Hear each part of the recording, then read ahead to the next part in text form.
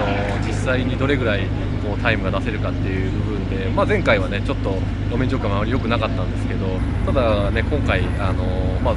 ある程度煮詰まってきたところでどれぐらいタイムが出るのかっていう部分を試していたんですけど、まあ、タイムもね、あの前前回よりも1秒、えー、早く走ることができてあのだいぶ車のそのフィーリングと自分のドライビングがだいぶ合ってきた感じがあります。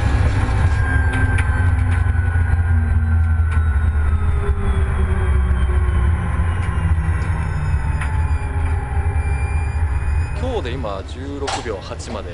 えー、いってるので、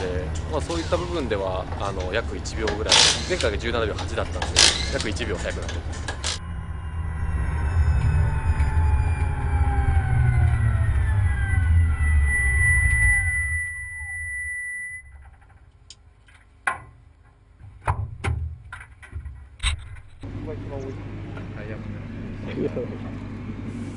滑らすとすぐこう。そうですね、まあ、前回も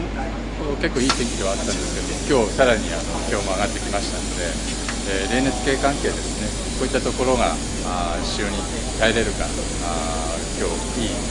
確認の場になると思います。えー、今ですね、えーまあ、ワンメイクレースなどに向けまして、えー、車を安く作るというようなことを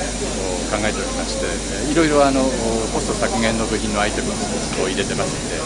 えー、その確認というようなことをこれからのテストで、え、やっていきたいと思います。えー、今週はですねいよいよこの車がですねルヴァンの場で、えー、走ることができます。えーこの場でですね世界中の皆様にこの車両の素晴らしさをお伝えできればと思っております。